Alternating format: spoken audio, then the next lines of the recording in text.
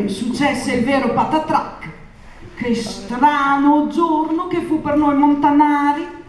Quel giorno fu la gente del paese a correre per le campagne a urlare è finita la guerra! Noi tutti andavamo casa, di casa in casa a congratularsi per la fine della guerra. Quei pochi uomini che c'era andarono a suonare le campane ma quando arrivammo nella chiesa di Monzuno, Don Castelli disse Ragazzi, andate pure a suonare, ma la guerra deve ancora incominciare per noi italiani. Ci furono quelli che sentendo le parole di quel prete gettavano le braccia all'aria dicendo che non era vero. Quel giorno, fra tanto chiasso, finalmente venne la sera, ma le campane ancora suonavano a festa poi subentrò la notte e anche il silenzio.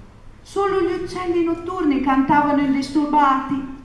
Ma a me le parole di Don Castelli mi facevano meditare.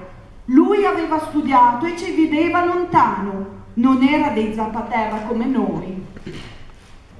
Margherita Ianelli, nata il 4 dicembre 1922 a Marzabotto, Bologna.